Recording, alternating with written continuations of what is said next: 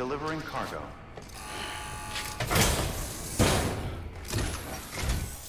Wow, great! You made it!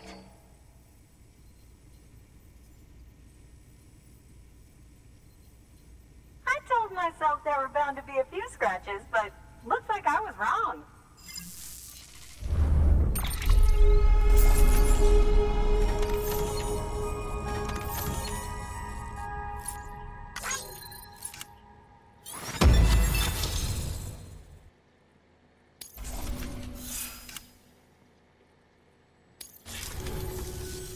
Can you make it official?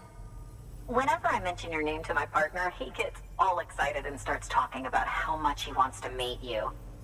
He's pretty interested in the chiral network too, totally on board with it and everything.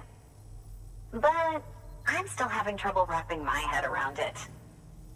I guess what I'm saying is that I'm okay with trying it out, just without any of the extra strings. If that's an option. If it is, then would you mind doing the honors?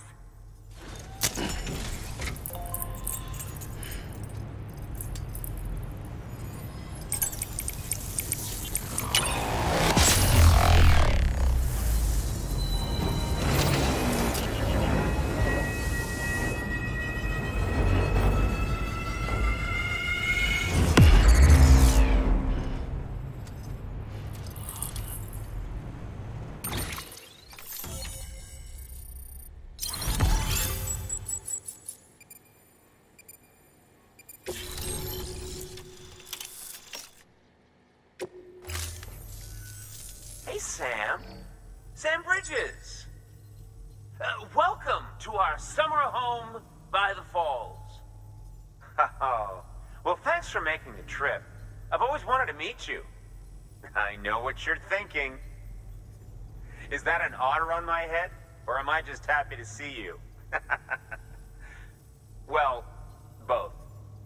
Actually, the otter's a member of the weasel family. I have weasels in my family, but enough about my brother. Man, you are tough. Hey, did you know that otters can survive without land? Oh, yeah. They eat, sleep, even give birth, all in the water. The only thing they can't do in the water is drown. such, good swim swimmers, they. Ah, okay. Wow. You laugh about as much as this guy. Hey, by the way, you should have this. It'll help you on your way. Yeah, don't worry about me. I've got an otter one.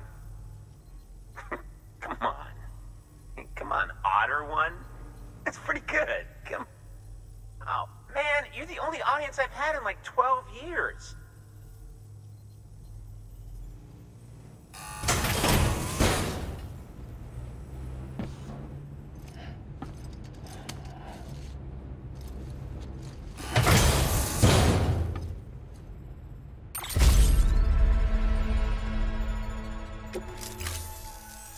By the way, that hood was threaded by the hand of my cosplay partner.